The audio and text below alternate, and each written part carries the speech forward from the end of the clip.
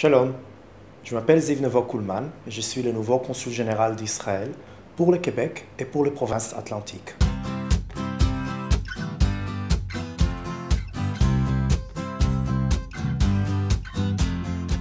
Ziv, c'est mon prénom et on le prononce comme Yves, mais avec un Z.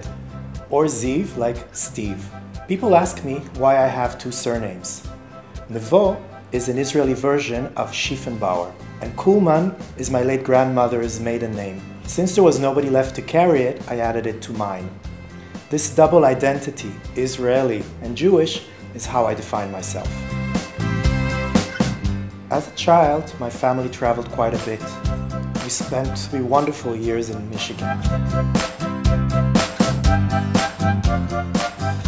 After backpacking in Europe for five months in my early 20s, I came back to Israel and decided to study art history.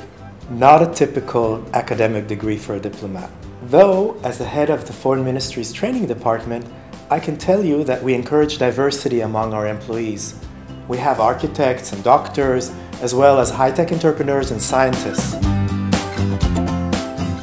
After I finished my cadet training in 1997, I was sent to a small fisherman's village near Osaka, Japan to study Japanese. After that, I was posted in Tokyo as cultural attaché. I was also posted as deputy ambassador in Prague et ensuite conseiller culturel à Paris. À Montréal, je voudrais promouvoir les relations économiques entre Israël et le Québec. Il y a encore tant de choses que nous pouvons faire ensemble dans le domaine de la recherche scientifique, de l'aviation, de l'espace. When I first visited Montreal, I was struck by its similarities with Tel Aviv, my hometown. Tel Aviv also has a laid back, multicultural, and liberal atmosphere. I think I'll feel quite at home.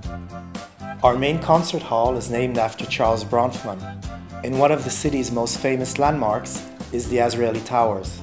They're both Canadian, eh? C'est très à la mode d'être végétalien ici. Quant à moi, je suis végétarien depuis l'âge de 13 ans, juste après ma bar mitzvah.